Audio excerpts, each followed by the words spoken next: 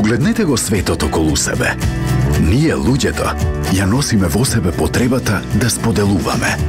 Споделуваме настани, искуства и чувства. Или пак предмети што нешто ни значат. Споделувајки, стануваме поблиски. Нашите идеи ги претвораме во дела. Споделувањето е нашиот двигател да отпатуваме подалеку или едноставно да бидеме своји. Со споделување ги негуваме старите пријателства, но исто така стекнуваме и нови. Добре дојдовте во светот во кој секој нов ден е ново доживување.